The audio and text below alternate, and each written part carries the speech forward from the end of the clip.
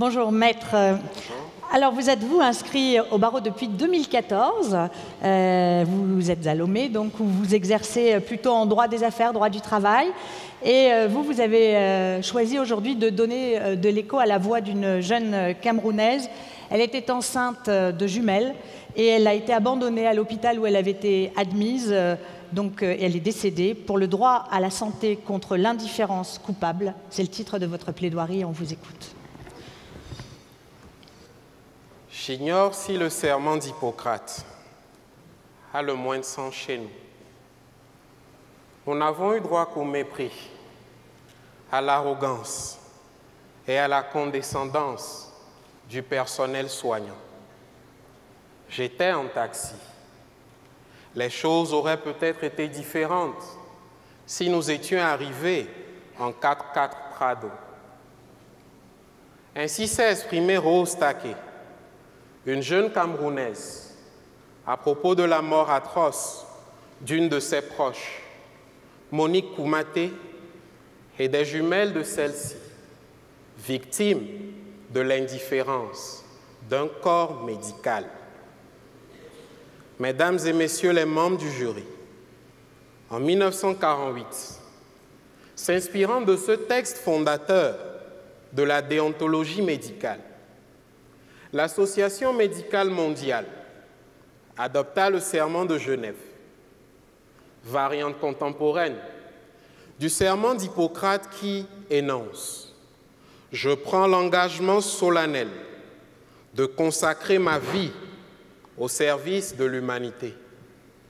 Je témoignerai à mes maîtres le respect et la reconnaissance qui leur sont dus.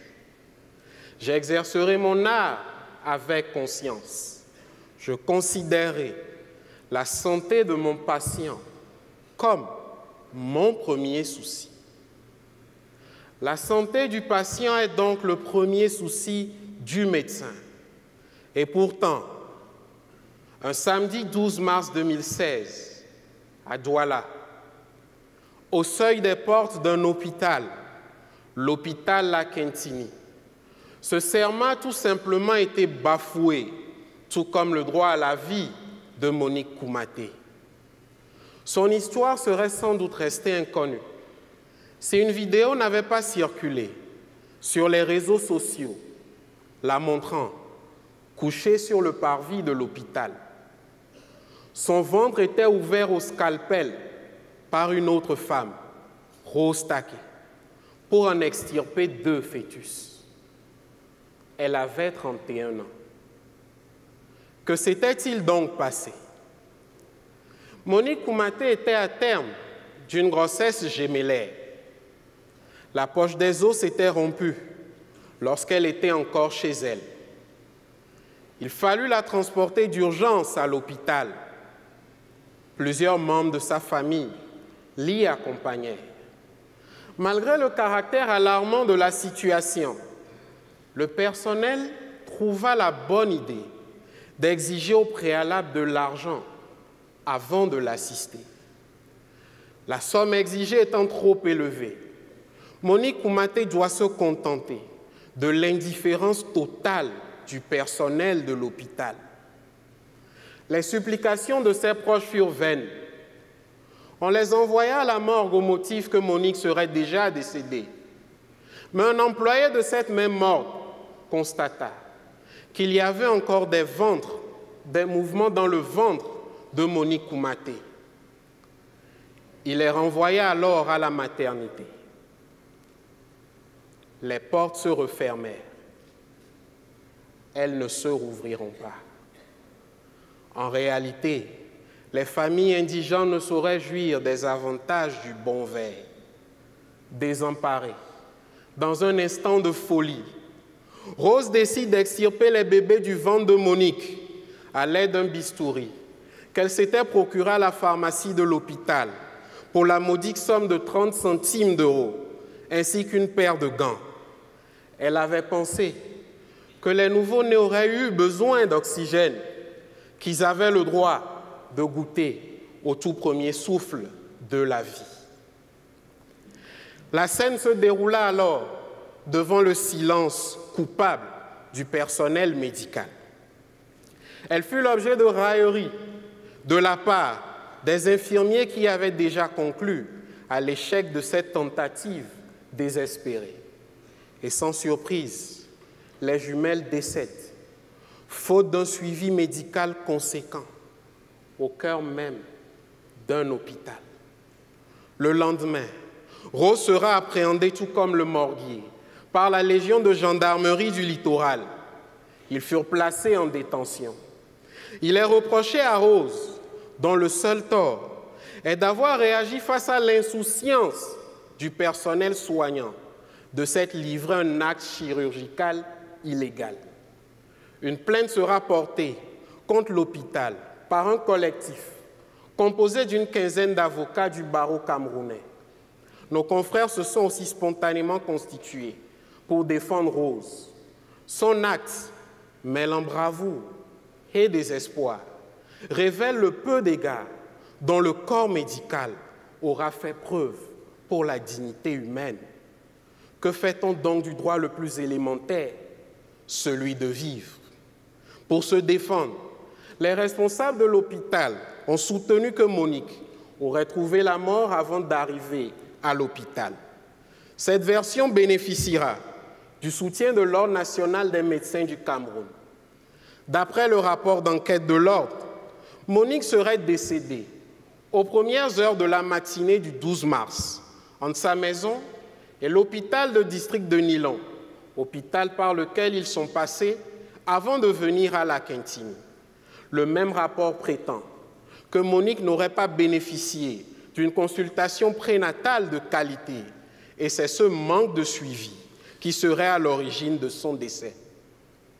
Cette version est difficile à admettre tant les images qui circulent sur la toile poussent à retenir la responsabilité de Lakentini. L'image de Rose, le regard levé vers le ciel, les deux fœtus à la main, implorant la miséricorde, viennent démentir ce rapport que j'ose qualifier d'inhumain. Comment se fait-il qu'aucun certificat de décès n'ait été délivré par l'hôpital où l'on prétend que Monique serait déjà morte Comment se fait-il que le sang de Monique, censé être décédé depuis le matin, puisse encore couler abondamment lorsqu'elle était allongée dans l'enceinte de la Quintine Monique Oumate est bien morte dans l'enceinte de ce centre hospitalier, sous le regard indifférent des médecins et des infirmiers. Monique et ses enfants seraient restés en vie si les responsables de l'hôpital s'étaient tout simplement souciés de leur sort. Et il est bien curieux que les premiers à être appréhendés soient justement ceux qui aient su faire preuve d'humanité. Et pourtant, à peine un mois avant la survenance de ce drame, le service de maternité de la Quintini, deuxième plus grand hôpital du Cameroun, avait été entièrement rénové. L'objectif de cette rénovation était d'assurer une meilleure prise en charge des femmes enceintes et des nouveau-nés afin de réduire les cas de mortalité infantile et maternelle. Cruelle ironie du sort. Au-delà de la responsabilité professionnelle des médecins, c'est tout un système qui est à revoir sans exonérer le personnel de la Quintini, on ne saurait contester que les conditions de travail du personnel soignant dans les hôpitaux publics laissent à désirer.